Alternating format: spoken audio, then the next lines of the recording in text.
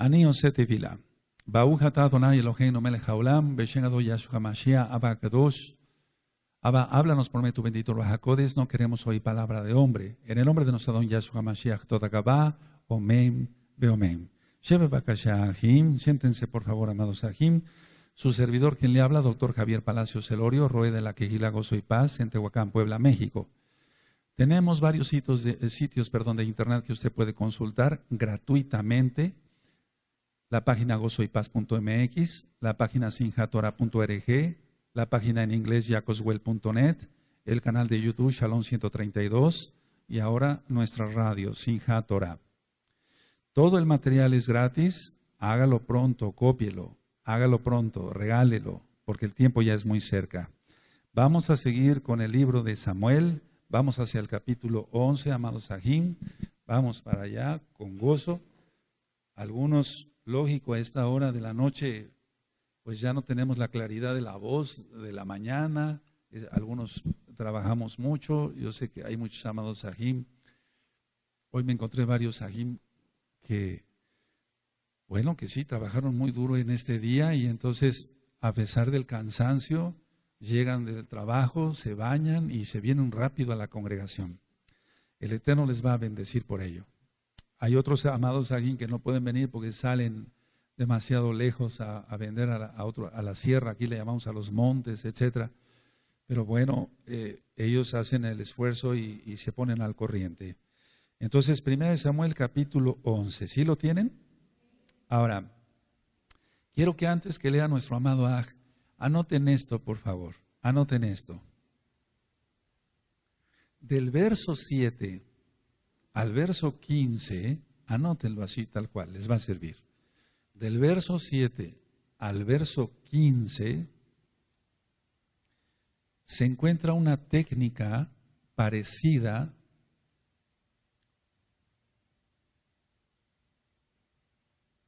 que usó el levita.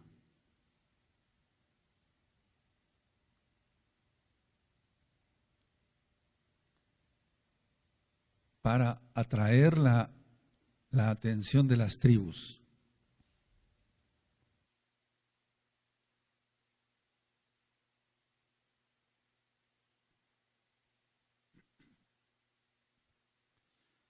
No sé si lo anotaron así tal cual.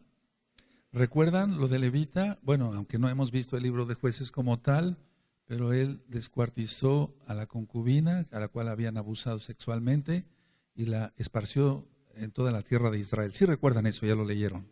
Entonces, aquí vemos una técnica parecida, pero vamos a ver el por qué. Por favor, ah, amén. Después subió Naas a Monita y acampó contra Jabes de Galat. Y todos los de Jabes dijeron a Naas, haz alianza con nosotros y te serviremos. Y Naas a Monita les respondió, con esta condición haré alianza con vosotros, que a cada uno de todos vosotros saque el ojo derecho y ponga esta afrenta sobre todo Israel. Entonces los ancianos de Jabes le dijeron, Danos siete días para que enviemos mensajeros por todo el territorio de Israel. Y si no hay nadie que nos defienda, saldremos a ti. Llegando los mensajeros a Gabá de Saúl, dijeron esas palabras en oídos del pueblo, y todo el pueblo alzó su voz y lloró. Y he aquí Saúl que venía del campo tras los bueyes, y dijo Saúl, ¿qué tiene el pueblo que llora? Y le contaron las palabras de los hombres de Jabes. Al oír Saúl estas palabras, el roja de Elohim vino sobre él con poder, y él se encendió en ira en gran manera. Y tomando un par de bueyes, los cortó en trozos y los envió por todo el territorio de Israel por medio de mensajeros diciendo, Así se hará con los bueyes del que no saliere en pos de Saúl y en pos de Samuel. Y cayó temor de Yahweh sobre el pueblo, y salieron como un solo hombre. Y los contó en Besek, y fueron los hijos de Israel trescientos mil, y treinta mil los hombres de Judá. Y respondieron a los mensajeros que habían venido, Así diréis a los de Jabes de Galat, Mañana al calentar el sol seréis librados. Y vinieron mensajeros, y vinieron los mensajeros, y lo anunciaron a los de Jabes, los cuales alegraron, y los de Jabes dijeron a los enemigos, mañana saldremos a vosotros, para que hagáis con nosotros todo lo que bien os pareciere. Aconteció que al día siguiente dispuso Saúl al pueblo en tres compañías, y entraron en medio del campamento a la vigilia de la mañana, e hirieron a los amonitas hasta que el día calentó. Y los que quedaron fueron dispersos, de tal manera que no quedaron dos de ellos juntos. El pueblo entonces dijo a Samuel, ¿quiénes son los que decían, ¿ha de reinar Saúl sobre nosotros? Danos esos hombres y los mataremos. Y Saúl dijo, no morirá hoy ninguno, porque hoy Yahweh ha dado salvación en Israel. Mas Samuel dijo al pueblo, venid, vamos a Gilgal para que renovemos allí el reino. Y fue todo el pueblo a Gilgal, e invistieron allí a Saúl por rey delante de Yahweh en Gilgal. y sacrificaron allí ofrendas de shalom delante de Yahweh, y se alegraron mucho allí, Saúl y todos los de Israel. Aleluya, bendito es el abacados. Ahora, ah, pueden anotar esto nada más en sus apuntes. En Apocalipsis 21.8 dice que los cobardes no heredarán el Malhud Hashemain, el reino de los cielos.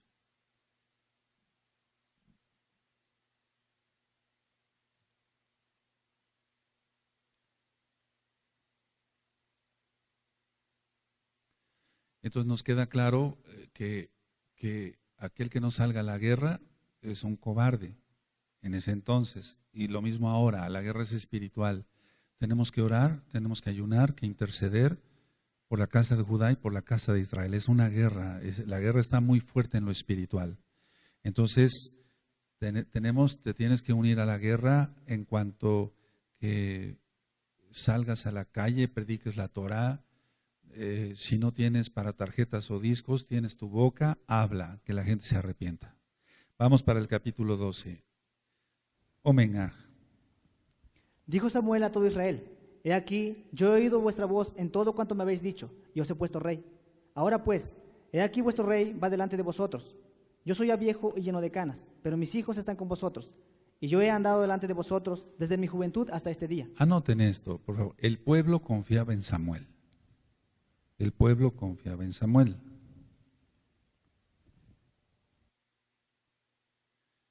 Pero no en sus hijos.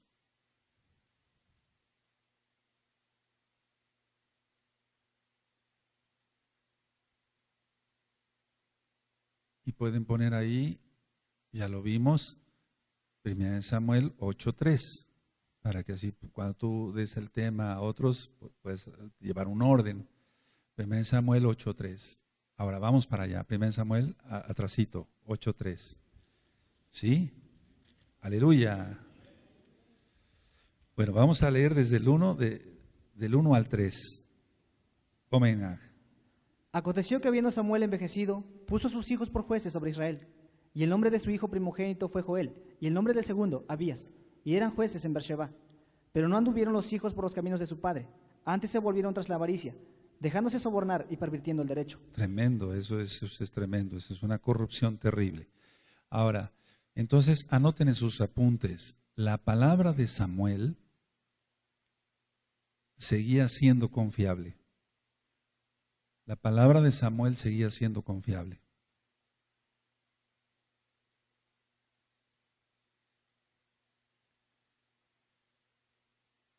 Ahora pongan punto y, punto y aparte, amados. la amenaza de los amonitas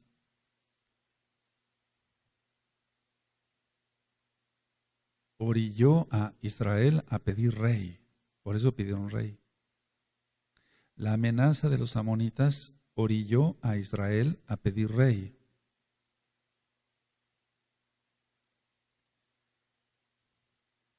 Bueno, entonces vamos a leer otra vez eh, en Samuel 12, capítulo 12, el verso 1 en adelante. Dijo Samuel, dijo Samuel a todo Israel, he aquí yo he oído vuestra voz en todo cuanto me habéis dicho, y os he puesto rey. Ahora pues, he aquí vuestro rey va delante de vosotros. Yo soy ya viejo y lleno de canas, pero mis hijos están con vosotros, y yo he andado delante de vosotros desde mi juventud hasta este día. Aquí estoy, atestiguad contra mí delante de Yahweh y delante de su ungido si he tomado el buey de alguno, si he tomado el asno de alguno, si he calumniado a alguien, si he agraviado a alguno, o si de alguien he tomado cohecho para cegar mis ojos con él, y os lo restituiré. Es muy importante, eso yo ya lo había dicho eh, Moshe en su momento. Entonces lo que tiene que decir cada roek, no tomar lo que no le corresponde. Es decir, no tomar, no hacerse del dinero de, de los amados Ahim. Eso es muy importante. Hace poco estuve estudiando esto con más detalle y sí, realmente hay mucha corrupción a nivel mundial con los que se dicen mesiánicos, hay mucha codicia, hay mucha avaricia, etcétera. Eso es muy feo. Cada quien tiene que hacerse de sus cosas, pero por medio de su trabajo honrado, pero no no no explotar a la congregación. Si el problema está que la gente a veces viene del cristianismo, donde es tan infectada con, con esto de la codicia y de la avaricia, etcétera. Y entonces traen esas mismas ideas y las quieren mezclar con, mezclar con la Torah, pero no se puede mezclar eh, lo kadosh con lo inmundo. Entonces eso nosotros lo reprobamos. Siga. Entonces dijeron, nunca nos has calumniado ni agraviado, ni has tomado algo de mano de ningún hombre. Y él les dijo, Yahweh es testigo contra vosotros, y su ungido también es testigo en este día, que no habéis hallado cosa alguna en mi mano. Y ellos respondieron, así es. Entonces Samuel dijo al pueblo, Yahweh que designó a Moshe y Aarón, y sacó a vuestros padres de la tierra de Egipto, es testigo. Ahora pues, aguardad y contenderé con vosotros delante de Yahweh acerca de todos los hechos de salvación que Yahweh ha hecho con vosotros y con vuestros padres. Cuando Jacob hubo entrado en Egipto y vuestros padres clamaron a Yahweh, Yahweh envió a Moshe y Aarón, los cuales sacaron a vuestros padres de Egipto y los hicieron habitar en este lugar. Y olvidaron a Yahweh su Elohim, y él los vendió en mano de Císara, jefe del ejército de Azor, y en mano de los filisteos, y en mano del rey de Moab, los cuales les hicieron guerra. Y ellos clamaron a Yahweh y dijeron, hemos pecado, porque hemos dejado a Yahweh, y hemos servido a los Baales y a Astarot. Líbranos pues ahora de mano de nuestros enemigos, y te serviremos. Entonces Yahweh envió a Jerobal, a Barak, a Jefté y a Samuel, y os libró de mano de vuestros enemigos en derredor, y habitasteis seguros.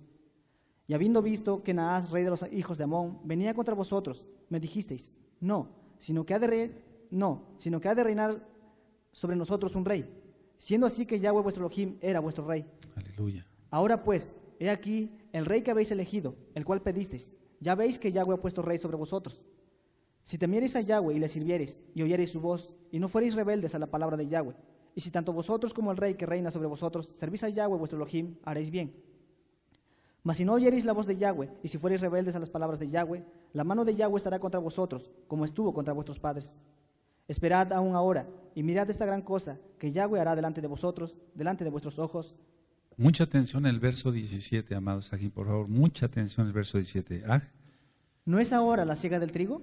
Yo clamaré a Yahweh, y él dará truenos y lluvias, para que conozcáis y veáis que es grande vuestra maldad que habéis hecho ante los ojos de Yahweh, pidiendo para vosotros rey. Ahora anoten esto. Truenos, anoten en sus apuntes, por favor, amados aquí. Truenos y lluvias.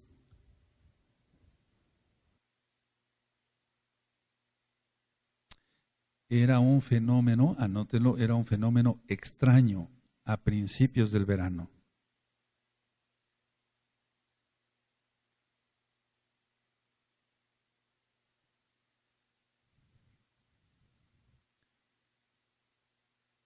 Amén. Siga. Y Samuel clamó a Yahweh, y Yahweh dio truenos y lluvias en aquel día. Y todo el pueblo tuvo gran temor de Yahweh y de Samuel. Entonces dijo todo el pueblo a Samuel, ruega por tus siervos a Yahweh tu Elohim, para que no muramos, porque a todos nuestros pecados hemos añadido este mal de pedir rey para nosotros. Y Samuel respondió al pueblo, no temáis, vosotros habéis hecho todo este mal, pero con todo eso no os apartéis de en pos de Yahweh, sino servirle con todo vuestro corazón. Aleluya. No os apartéis en pos de vanidades que no aprovechan ni libran, porque son vanidades. Subrayen el verso 21 y una vez que lo subrayen lo vamos a leer todos, ¿de acuerdo? ¿Sí? A una sola voz. Amén.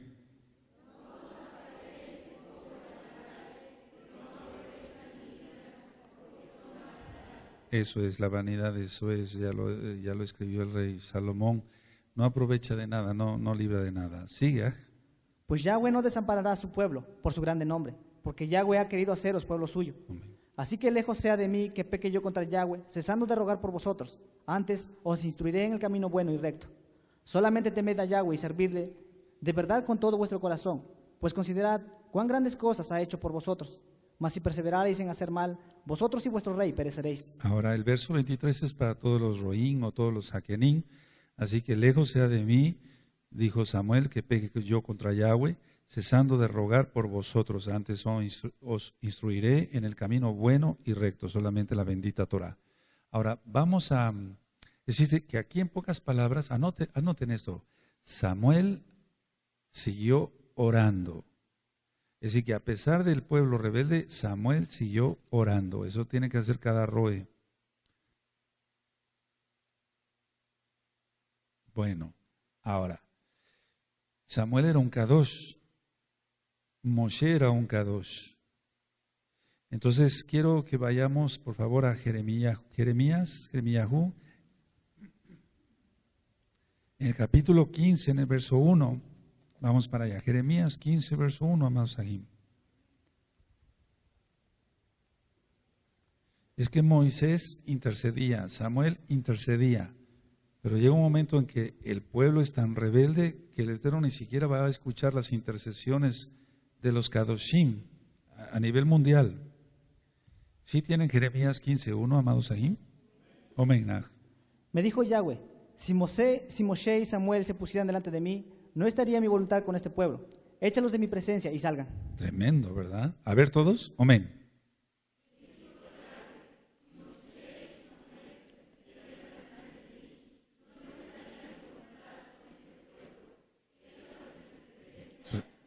Tremendo, eso, eso es algo terrible, es una reprobación total.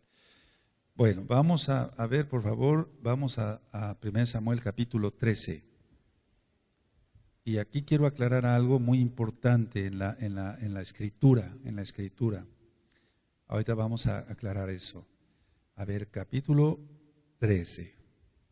Cuando lo tenga me dicen no, amén. Amén. Había ya reinado Saúl un año, y cuando hubo reinado dos años sobre Israel, escogió luego a tres mil hombres de Israel, de los cuales estaban con Saúl dos mil en Micmas y en el monte de Betel, y mil estaban con Jonatán en Gabá de Benjamín, y envió al resto del pueblo cada uno a sus tiendas. Y Jonatán atacó a la guarnición de los filisteos que había en el collado, y lo oyeron los filisteos, e hizo, e hizo Saúl tocar shofar por todo el país, diciendo, oigan los hebreos. Y todo Israel oyó que se decía, Saúl ha atacado a la guarnición de los filisteos y también que Israel se había hecho abominable a los filisteos. Y se juntó el pueblo en pos de Saúl en Gilgal. Entonces los filisteos se juntaron para pelear contra Israel. Treinta mil carros, seis mil hombres de caballo y pueblo numeroso, como la arena que está a la orilla del mar. Y subieron y acamparon en Micmas, al oriente de bet -Aben. A ver, entonces vamos a aclarar dos cosas que son muy importantes, amados aquí.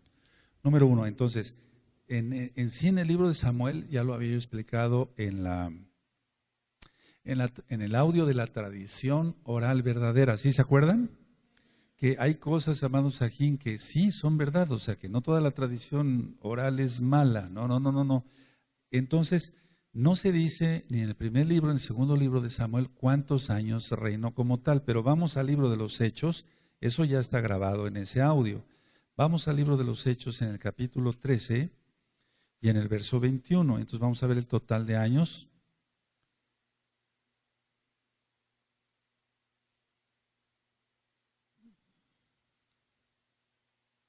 Sí. Amén. Luego pidieron rey, y Elohim les dio Saúl, hijo de Cis, varón de la tribu de Benjamín, por 40 años. Por 40 años. Ahora, vamos otra vez al libro, a, a 1 Samuel, por favor, vamos para allá. Bendito es el abacados. Bendito es Yahweh. El capítulo 13. Bueno, entonces había ya reinado Shaul un año y cuando hubo reinado dos años sobre Israel. Entonces, hay la duda hasta la fecha, o había la duda, si nosotros sumamos 40 años más dos son 42 años. Entonces, muchos aún siguen diciendo solamente fueron 40 años. Otros dicen fueron 42 años, pero vamos, si nos basamos al libro de los Hechos, 42 años, 40 eh, años nada más. Ahora, en el verso 12, vamos para allá. Y en el verso, verso 12, verso 12, a ver, vamos al libro de los Hechos, perdónenme, vamos al libro de los Hechos, en el capítulo 13, vamos otra vez para allá.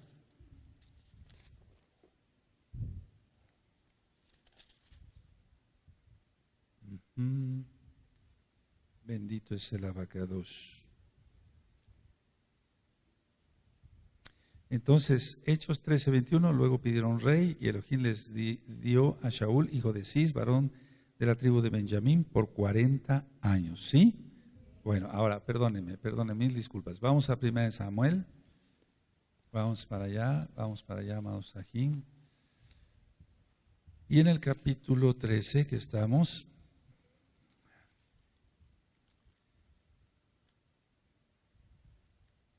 aleluya. Ahora, en el verso, en el verso, acaba de leer nuestro amado Ag, el verso 5. Entonces los filisteos se juntaron para pelear contra Israel. Treinta mil, treinta mil carros, seis mil hombres de a caballo y pueblo numeroso como la arena que está en la orilla del mar. Bueno, entonces, lo que sí, sí quiero aclarar acá es esto. No son 30 mil carros, no son 30 mil carros, porque eso sería cinco carros por hombre. Anoten esto porque es muy importante. A veces las traducciones están, están muy mal hechas. Dice aquí, 30 mil carros. ¿Así dice en tu Ok, entonces 30 mil carros equivaldría a cinco carros por hombre. Por lo tanto, hay un error, hay un error.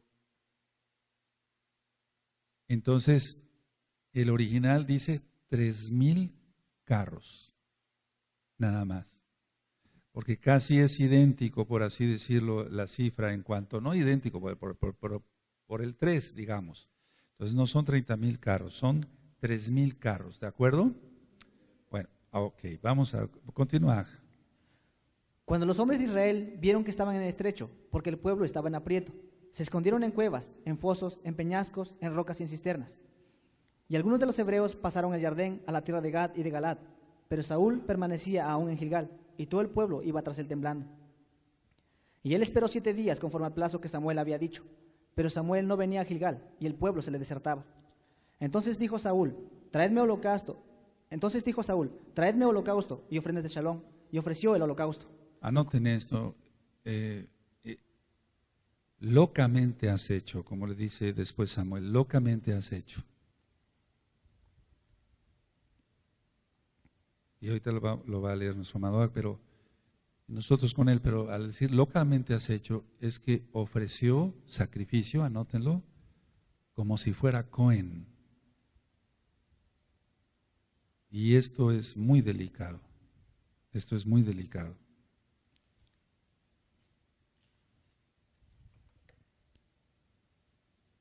Sí, Aleluya. Bueno, conclusión, de los 40 años, fueron 40, 40 años en sí, no, no fueron 42, pero a lo que voy es la idea, tal vez no la dije clara. Eh, muchos dicen, bueno, 40 más 2, no, no, no, pero solamente fueron 40 años los que reinó eh, Shaul. Ahora, ofreció holocausto como si, si hubiera sido un Cohen y anotaste que eso es muy delicado. Eso es muy delicado. Entonces se violó la Torah. Vamos a Levítico, por favor, a Baikra, capítulo 6. Vamos para allá.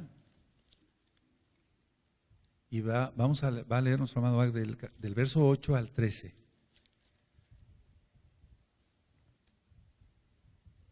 Vaikra 6, 8, 8 al 13. ¿Sí lo tienen?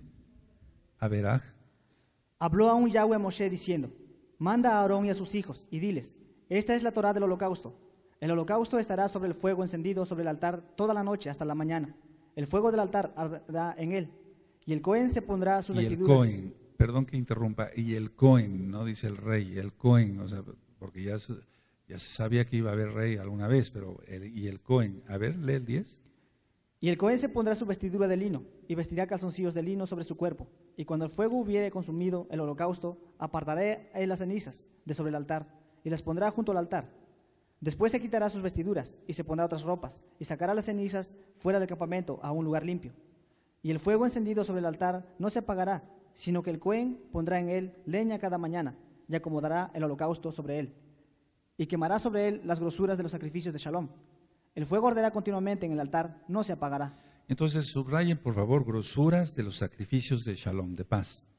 Y eso es lo que hizo Shaul, el rey. Y entonces por eso lo reprobó el Eterno. O sea, quedó reprobado ante los ojos del abacados. Sí, si tú te das cuenta en esta cita de Levítico 6, 8 al 3, y el Cohen, y el Cohen, y el Cohen, todo el tiempo está citando el abacados y el Cohen. Nunca se refería a otra persona. Entonces, por eso fue reprobado. Estamos diciendo lo que dice la bendita Tanaj. Bendito es Él, bendito es Yahweh. Entonces se violó la Torah. ¿Sí lo anotaron que se violó la Torah? Se violó la Torah. A ver, sigue leyendo en el 1 Samuel 14. 1 Samuel, perdón, 13. Y cuando él acabó de ofrecer el holocausto, he aquí Samuel que venía, y Saúl salió a recibirle para saludarle. Entonces Samuel dijo, ¿qué has hecho? Y Saúl respondió, porque vi que el pueblo se me desertaba y que tú no venías dentro del plazo señalado. y que los filisteos estaban reunidos en Migmas. Me dije, ahora descenderán los filisteos contra mí a Gilgal, y yo no he implorado el favor de Yahweh. Me esforcé pues y ofrecí holocausto. Me esforcé, pero el Eterno no quiere eso, el Eterno quiere obediencia.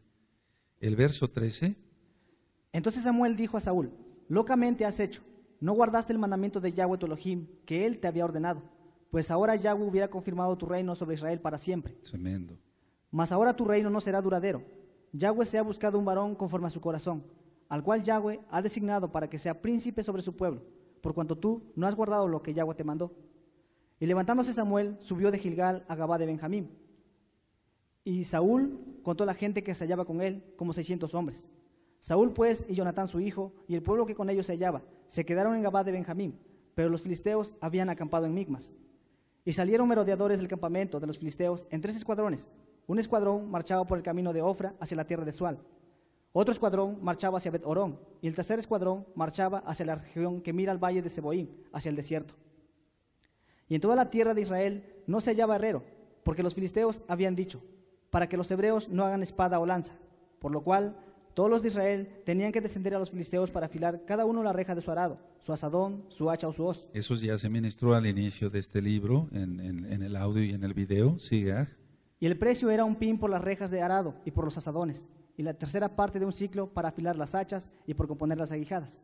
Así aconteció que en el día de la batalla no se halló espada ni lanza en mano de ninguno del pueblo que estaba con Saúl y con Jonatán, excepto Saúl y Jonatán su hijo que las tenían. Y la guarnición de los filisteos avanzó hasta el paso de Micmas. Bueno, vamos al capítulo 14. Amén.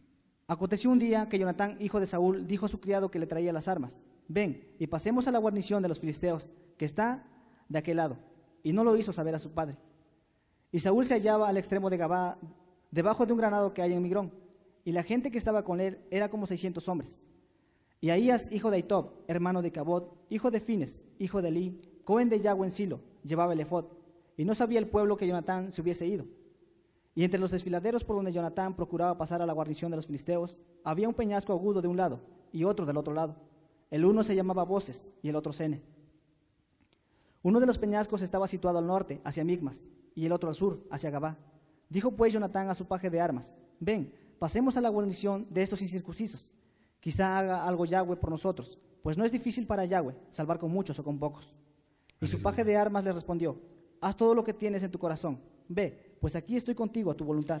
Entonces es muy importante subrayar el verso 6 y el verso 7, no es por los muchos, ni, sino, ni tampoco los pocos, sino por la ayuda de Yahweh. Aleluya. Sigue. ah. Dijo entonces Jonatán, vamos a pasar a esos hombres y nos mostraremos a ellos. Si nos dijeren así, esperad hasta que lleguemos a vosotros, entonces nos estaremos en nuestro lugar y no subiremos a ellos. Mas si nos dijeren así, subid a nosotros, entonces subiremos, porque Yahweh los ha entregado en nuestra mano, y esto nos será por señal. Se mostraron pues ambos a la guarnición de los filisteos, y los filisteos dijeron, He aquí los hebreos que salen de las cavernas donde se habían escondido. Y los hombres de la guarnición respondieron a Jonatán y a su paje de armas, y dijeron, Subid a nosotros, y os haremos saber una cosa. Entonces Jonatán dijo a su paje de armas, Sube tras mí, porque Yahweh los ha entregado en manos de Israel. Y subió Natán trepando con sus manos y sus pies, y tras él su paje de armas. Y a los que caían delante de Jonatán, su paje de armas que iba tras él los mataba. Entonces pongan como en, sus apuntes, Jonathan en peligro. O sea, él estaba en peligro, pero él tenía mucha fe. Jonathan en peligro. Ahora, aquí lo que me llama mucho la atención es la ayuda de, su paje de armas, o sea, de, va la redundancia, de su ayudante. Es decir, que se ve que lo amaba mucho. En el verso 13, y subió Jonathan trepando con sus manos y sus pies, y tras él su paje de armas. Es de donde iba Jonathan, iba el, el- el ayudante. Y a los que caían delante de Jonathan, su paje de armas que iba tras él, los mataba. O sea, todo el tiempo la ayuda de alguien es muy importante eso. Siga. Y fue esta primera matanza que hicieron Jonatán y su paje de armas, como veinte hombres, en el espacio de una media yugada de tierra. Y hubo pánico en el campamento y por el campo, y entre toda la gente de la guarnición, y los que habían ido a merodear, también ellos tuvieron pánico. Y la tierra tembló. Hubo pues gran consternación. Ahora, imagínense que Shaul desobedeció. Este, este joven, al menos en la, en la bendita Tanaj, da referencia de que fue un Kadosh. Él amaba mucho a David, el rey, ya una vez eh, ungido rey, lo defendió de su propio padre, de Shaul, pero sin embargo el fin que tuvo Jonathan por el pecado de su papá. Entonces es muy importante que nosotros como papás, todos, nos aquí y allá, nos mantengamos en, en santidad. Cada paso que demos lo demos sabiamente porque van de por medio también nuestros hijos. ¿Sí queda claro? Amén. Vamos a seguir adelante. Y los centinelas de Saúl vieron desde Gabá de Benjamín cómo la multitud estaba turbada, e iba de un lado a otro y era deshecha. Entonces Saúl dijo al pueblo que estaba con él, pasad ahora revista, y ved quién se haya ido de los nuestros. Pasaron revista, y aquí que faltaba Jonatán y su paje de armas. Y Saúl dijo a Ahías, trae el arca de Elohim, porque el arca de Elohim estaba entonces con los hijos de Israel. Pero aconteció que mientras aún hablaba Saúl con el Cohen, el alboroto que había en el campamento de los filisteos aumentaba, e iba creciendo en gran manera. Entonces dijo Saúl al Cohen, detén tu mano. Y juntando Saúl a todo el pueblo que con él estaba, llegaron hasta el lugar de la batalla. Y he aquí que la espada de cada uno estaba vuelta contra su compañero, y había gran confusión. Y los hebreos que habían estado con los filisteos de tiempo atrás y habían venido con ellos de los alrededores al campamento, se pusieron también del lado de los israelitas, que estaban con Saúl y con Jonatán. Asimismo todos los israelitas que se habían escondido en el monte de Efraín, oyendo que los filisteos huían, también ellos los persiguieron en aquella batalla. Así salvó Yahweh a Israel aquel día, y llegó la batalla hasta Betabén. Pero los hombres de Israel fueron puestos en apuro aquel día, porque Saúl había juramentado al pueblo diciendo, cualquiera que coma pan antes de caer la noche, antes que haya tomado venganza de mis enemigos, sea maldito. Y todo el pueblo no había probado pan. Y todo el pueblo llegó a un bosque, donde había miel en la superficie del campo. Entró pues el pueblo en el bosque, y he aquí que la miel corría, pero no hubo quien hiciera llegar su mano a su boca, porque el pueblo temía el juramento. Pero Jonatán no había oído cuando su padre había juramentado al pueblo, y alargó la punta de una vara que traía en su mano y la mojó en un panal de miel, y llevó su mano a la boca, y fueron aclarados sus ojos. Entonces habló uno del pueblo diciendo, Tu padre ha hecho jurar solemnemente al pueblo diciendo, Maldito sea el hombre que tome hoy alimento, y el pueblo desfallecía. Respondió Jonatán, Mi padre ha turbado el país, ved ahora cómo han sido aclarados mis ojos, por haber gustado un poco de esta miel. ¿Cuánto más si el pueblo hubiera comido libremente hoy del botín tomado de sus enemigos? ¿No se habría hecho ahora mayor estrago entre los filisteos? E hirieron aquel día los filisteos desde Migmas hasta Jalón, pero el pueblo estaba muy cansado. Y se lanzó el pueblo sobre el botín, y tomaron ovejas y vacas y becerros, y los degollaron en el suelo, y el pueblo los comió con sangre. Y le dieron aviso. Y le dieron aviso a Saúl diciendo, el pueblo peca contra Yahweh comiendo la carne con la sangre. Y él dijo, vosotros habéis prevaricado, rodadme ahora acá una piedra grande. Además dijo Saúl, esparcíos por el pueblo y decidles que me traigan cada uno su vaca y cada cual su oveja, y degolladlas aquí y comed, y no pequéis contra Yahweh, comiendo la carne con la sangre.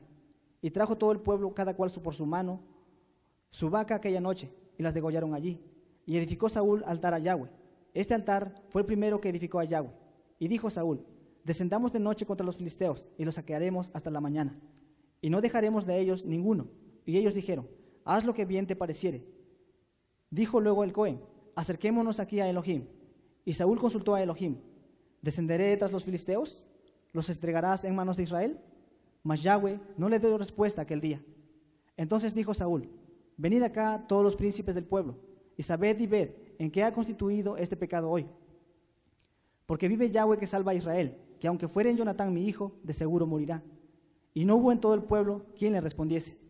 Dijo luego a todo Israel, vosotros estaréis a un lado, y yo y Jonatán mi hijo estaremos al otro lado. Y el pueblo respondió a Saúl, haz lo que bien te pareciere. Entonces dijo Saúl a Yahweh Elohim de Israel, da suerte perfecta. Y la suerte cayó sobre Jonatán y Saúl, y el pueblo salió libre. Y Saúl dijo, echad suertes entre mí y Jonatán mi hijo. Y la suerte cayó sobre Jonatán. Entonces Saúl dijo a Jonatán, declárame lo que has hecho. Y Jonatán se lo declaró y dijo, Ciertamente gusté un poco de miel con la punta de la vara que traía en mi mano. ¿Y he de morir? Y Saúl respondió, así me haga Elohim y aún me añada, que sin duda morirá Jonatán. Entonces el pueblo dijo a Saúl, ¿ha de morir Jonatán, el que ha hecho esta grande salvación en Israel? No será así. Vive Yahweh que no ha de caer un cabello de su cabeza en tierra, pues ha actuado hoy con Elohim. Así el pueblo libró de morir a Jonatán. Y Saúl dejó de seguir a los filisteos, y los filisteos se fueron a su lugar. Después de haber tomado posesión del reinado de Israel, Saúl hizo guerra a todos sus enemigos en derredor, contra Moab, contra los hijos de Amón, contra Edom, contra los reyes de Soba y contra los filisteos. Y a donde quiera que se volvía, era vencedor. Recuerda todo lo, todo lo que ya hemos ministrado sobre Edom. Entonces, anoten esto, por favor, amados, aquí sus apuntes. Victorias sobre Moab, sobre Amón, sobre Edom.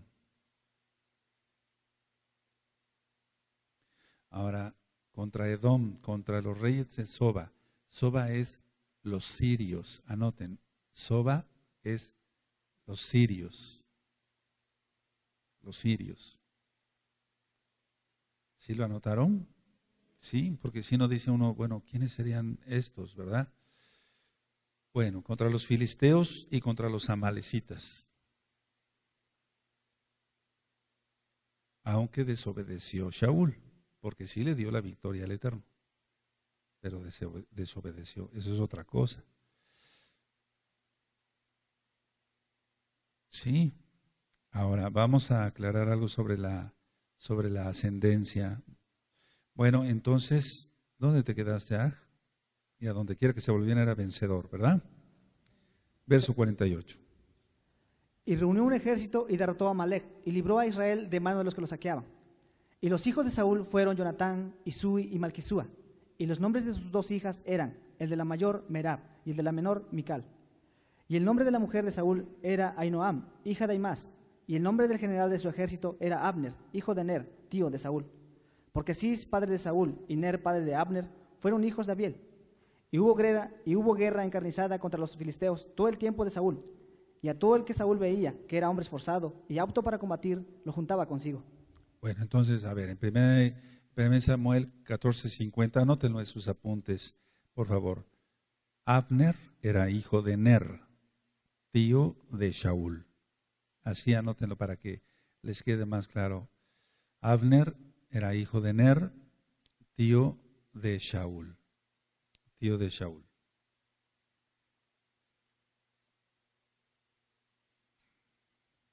Sí, amén.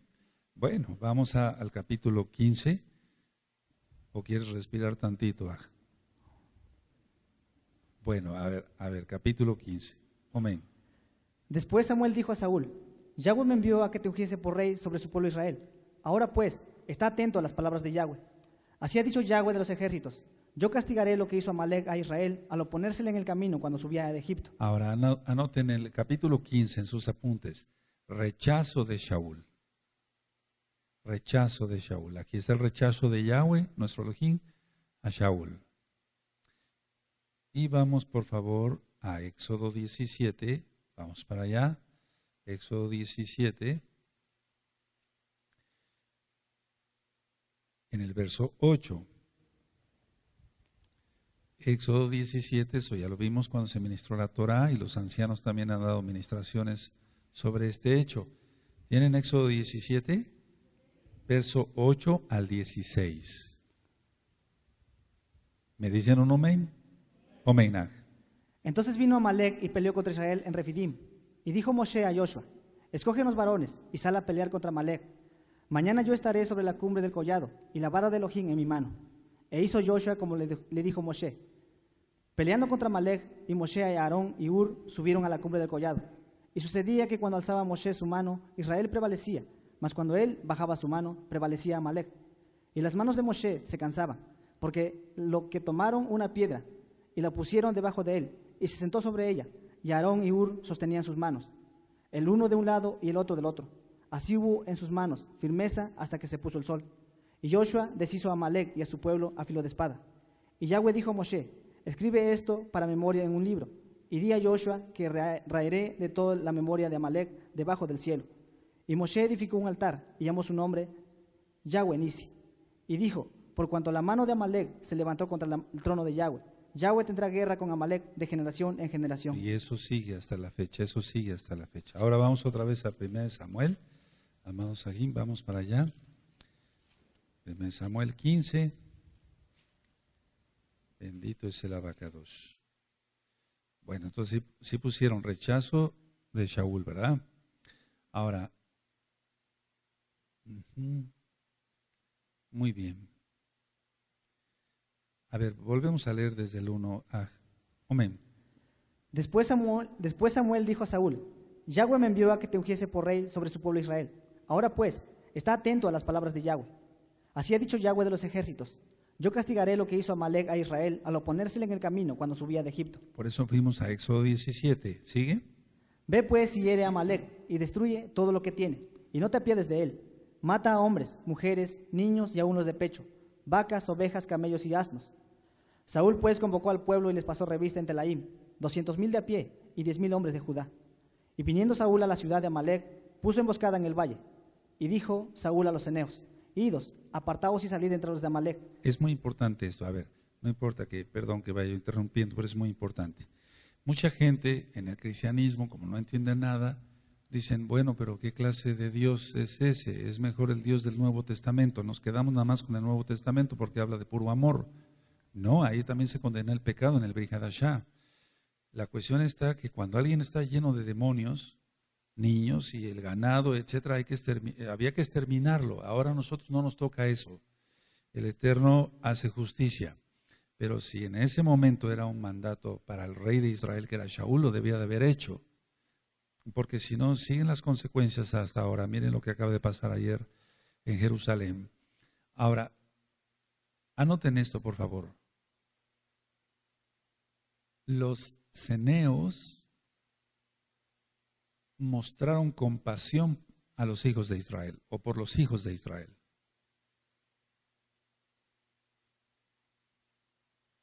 Los ceneos mostraron compasión a los hijos de Israel.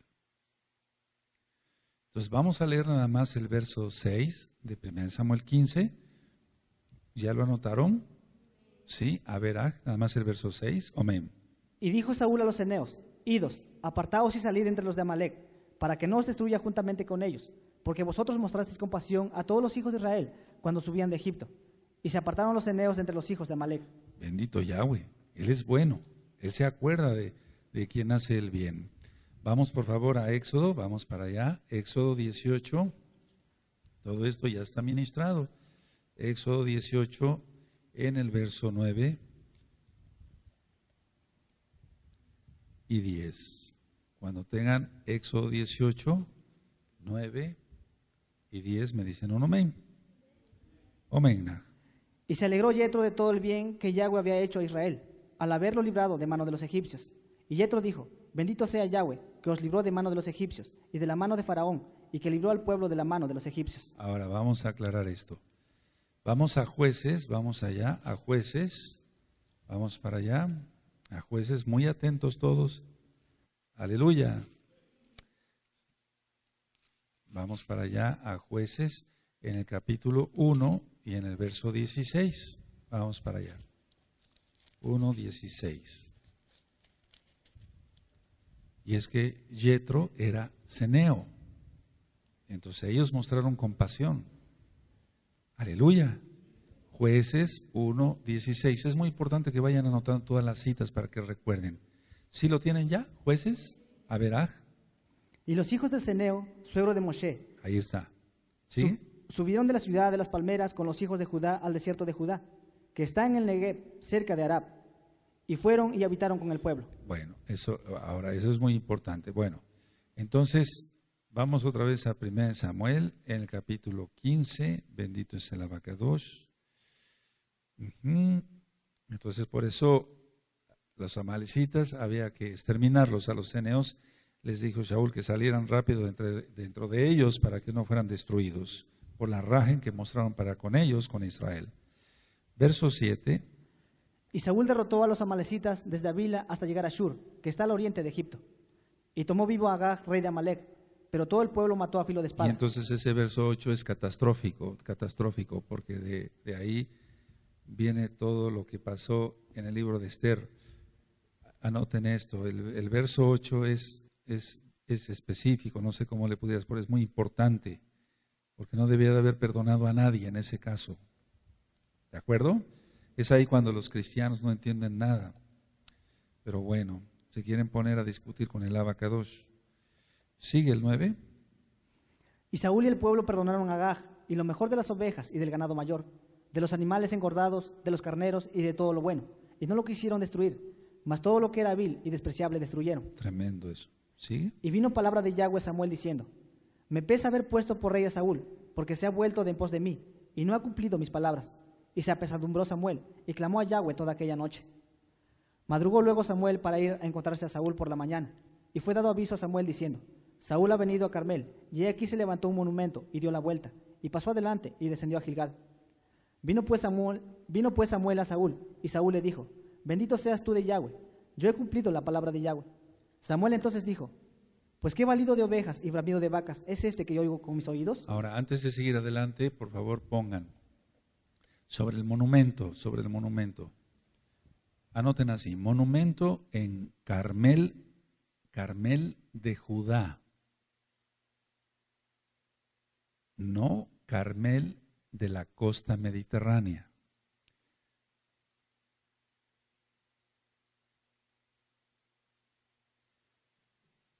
Anótenlo bien, anótenlo bien.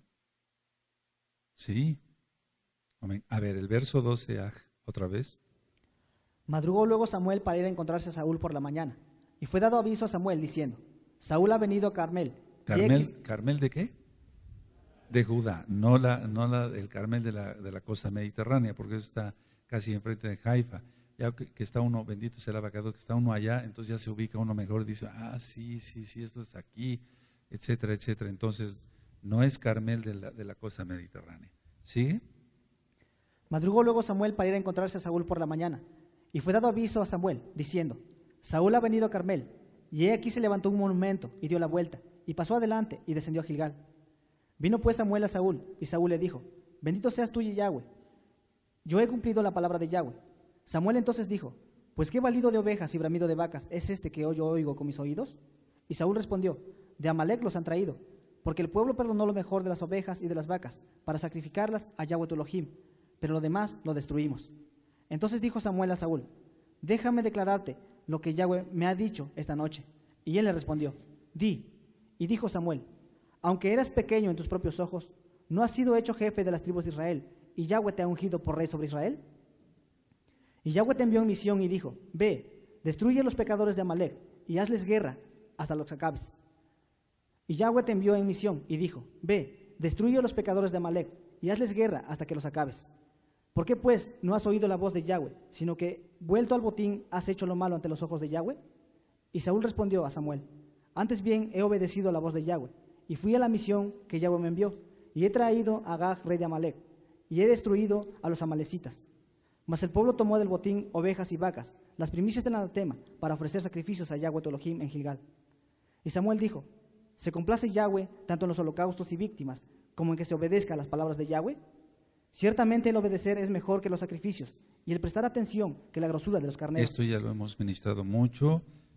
Es lo que le, lo que le interesa al Eterno es que obedezcamos todos. Sigue el 23. Porque como pecado de adivinación es la rebelión, y como ídolos e idolatría la obstinación. Por cuando tú desechaste la palabra de Yahweh, Él también te ha desechado para que no seas rey. Ahora, anoten esto porque es también muy importante. 15 años más reinó Shaul. 15 años, ¿se imaginan? Es, es bastante tiempo. Bueno, es un buen tiempo. 15 años más reinó Shaul ya depuesto. Es una vez que ya el Eterno lo reprobó, todavía 15 años estuvo.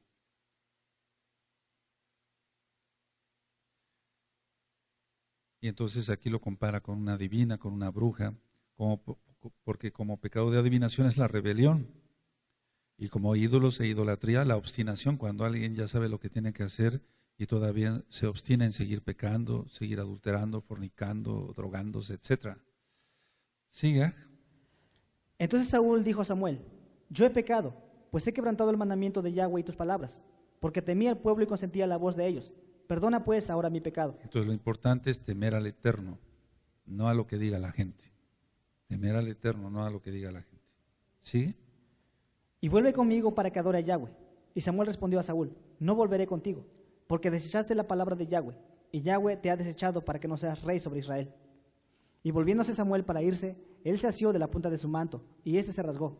Ya ministramos sobre eso en el tema del talit, que hace más o menos un mes o menos eh, les compartí, para que lo busquen, busquen el tema del talid, está en video y está en la página Gozo y Paz. ¿Sí? Entonces Samuel le dijo, Yahweh ha rasgado hoy de ti el reino de Israel y lo ha dado a un prójimo tuyo mejor que tú. Recuerden, el talid representa el reino. ¿Sí? Además, el que es el esplendor de Israel no mentirá, ni se arrepentirá, porque no es hombre para que se arrepienta. Y él dijo, yo he pecado, pero te ruego que me honres delante de los ancianos de mi pueblo y delante de Israel, y vuelvas conmigo para que adore a Yahweh tu Elohim. Y volvió Samuel tras Saúl, y adoró Saúl a Yahweh. Después dijo Samuel, traedme a Agag, rey de Amalek. Y Agag vino a él alegremente, y dijo a Agag, ciertamente ya pasó la amargura de la muerte. Y Samuel dijo, como tu espada dejó a las mujeres sin hijos, así tu madre será sin hijo entre las mujeres. Entonces Samuel cortó en pedazos a Agag delante de Yahweh en Gilgal. Ya se ha ministrado también por medio de los ancianos, que no solamente le dio exterminio, lo mató, sino que lo descuartizó. Cortó en pedazos a Agag. Así va a ser el Eterno al toque de shofar cuando venga. Bendito es su nombre. Siga. Se fue luego Samuel a Ramá, a Saúl, y Saúl subió a su casa en Gabá de Saúl. Y nunca después vio Samuel a Saúl en toda su vida. Y Samuel lloraba a Saúl, y Yahweh se arrepentía de haber puesto a Saúl por rey sobre Israel. Anoten esto, amados. El alejamiento entre Samuel y Shaul, esto que voy a decir es muy importante. El alejamiento entre Samuel y Shaul es igual al alejamiento entre Elohim y el rey.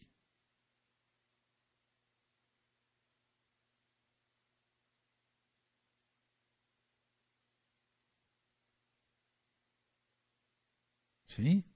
Entonces el alejamiento entre Samuel, Samuel, perdón, Samuel y Shaul es igual al alejamiento entre Elohim y el rey, porque en el caso del profeta Samuel, él realmente representaba, por así decirlo, la palabra de Elohim. No, no, no como ahora, ¿verdad? Que el Papa dice que es el vicario de no sé quién, entonces no, no, no tiene nada que ver eso, representante de Dios en la tierra, imagínense eso. No, no, no. Vamos al capítulo 16. Dijo Yahweh a Samuel, ¿hasta cuándo llorarás a Saúl, habiéndolo yo desechado para que no reine sobre Israel? Llena tu cuerno de aceite y ven, te enviaré a Isaí de Bailejen, porque de sus hijos me he provisto de rey. Recuerden que se ungía y se debe seguir ungiendo con, un shofar, con un shofar. Ahora, eh, aquí se ve que le dolió mucho a Samuel lo que pasó con, con Shaul. O sea, Samuel realmente adoraba a Yahweh pero sin embargo le dolió lo que pasó con Shaul. Pero bueno, el Eterno lo, consuela, pero de alguna manera en exhortación.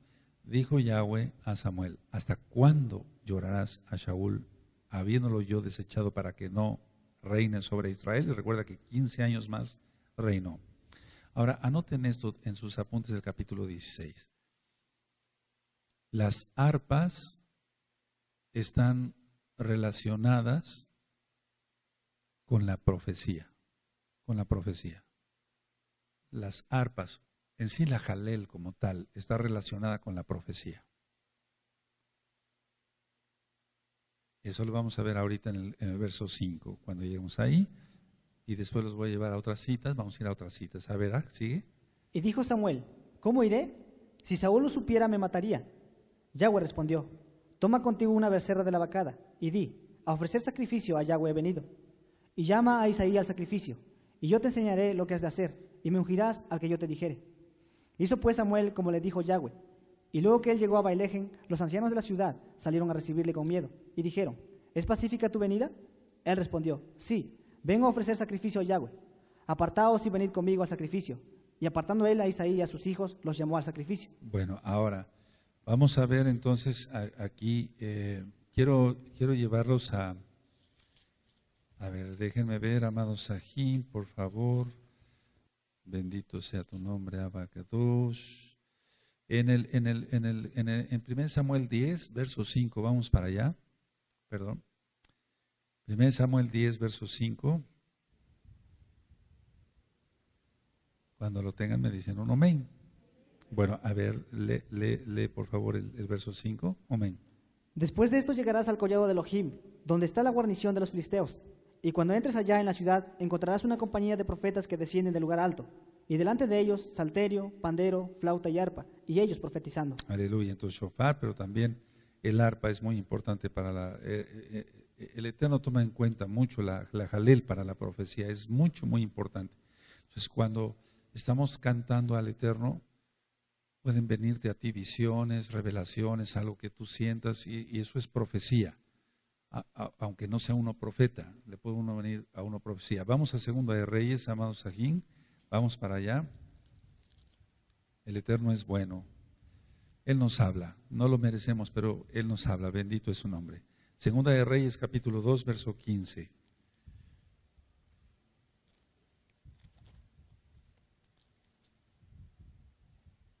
Si tienen Segunda de Reyes, capítulo 2, verso 15, amén. Viéndolo, viéndole los hijos de los profetas que estaban en Jericó al otro lado, dijeron, el espíritu de Elías reposó sobre Eliseo, y vinieron a recibirle y se postraron delante de Y él. vamos, y hay un audio que le titulé Los profetas, y yo, eh, ahí hablo sobre los hijos de los profetas también, entonces hay más profundidad so- sobre el tema. Ahora vamos a Primera de Crónicas, Primera de Crónicas en el capítulo 25, Primera Crónicas 25, vamos para allá, amados Sahim. Primera de Crónicas, capítulo 25, verso 1. Cuando lo tengan, me dicen un amén, por favor. Sí, amén. Asimismo David y los jefes del ejército apartaron para el ministerio a los hijos de Asaf, de Emán y de Jedutún, para que profetizasen con arpas, Ahí está. salterios y címbalos. Y el número de ellos, hombres idóneos para la obra de su, de un de su ministerio. Entonces Asaf, Emam, Jedutum profetizaban con, con arpas, con liras, con címbalos. Vamos otra vez a 1 Samuel, amados. Vamos para allá, vamos a 1 Samuel. Bendito es el abacados. Capítulo 16.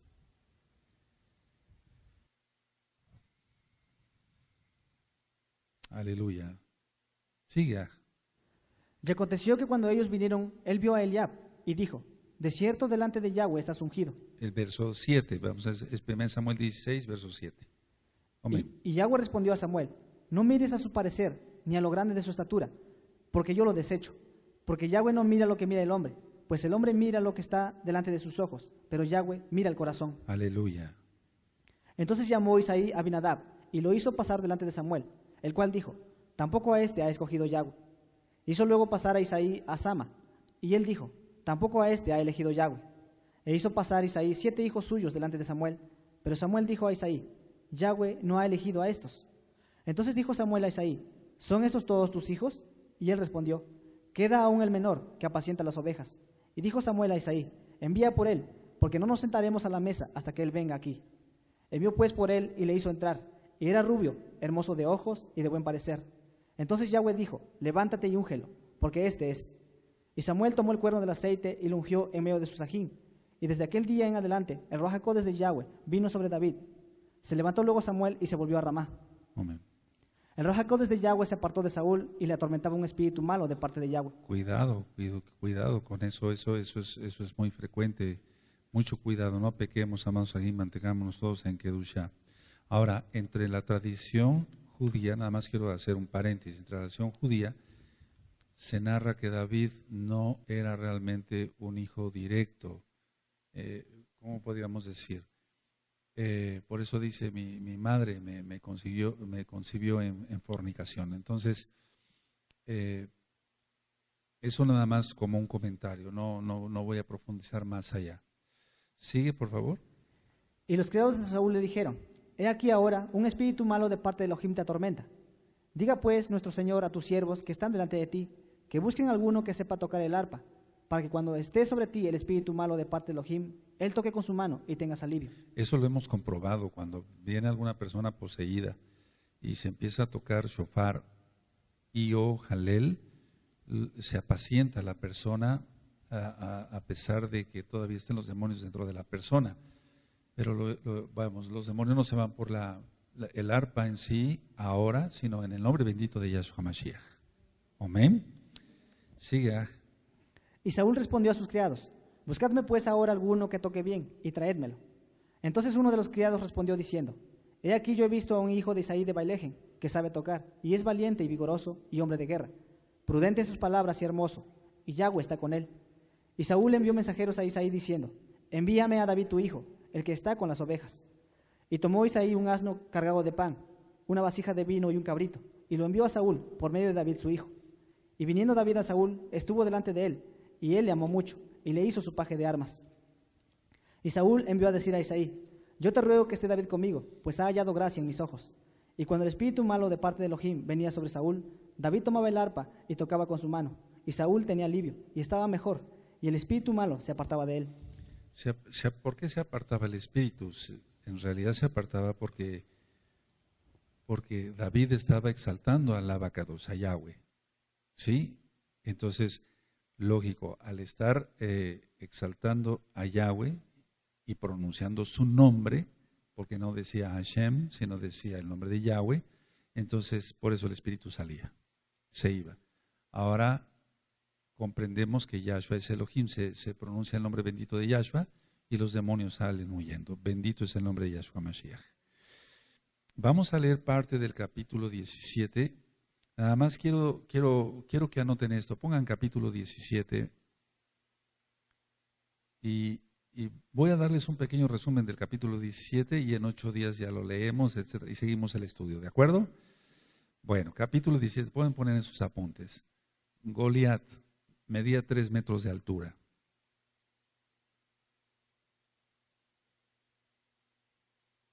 Eso es impresionante. el casco y la, la malla que utilizaba pesaban 56 kilos.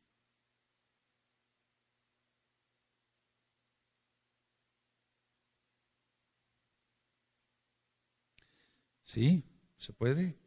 La punta de hierro de, la, de su jabalina pesaban 7 kilos.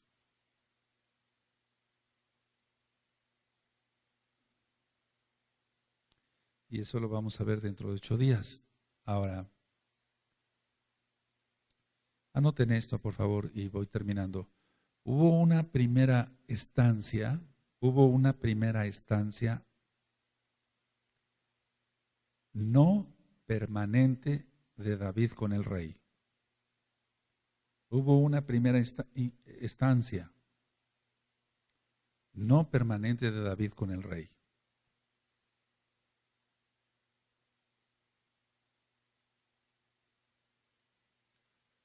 Esto es muy importante porque lo vamos a ver dentro de ocho días. Anoten esto. Por eso,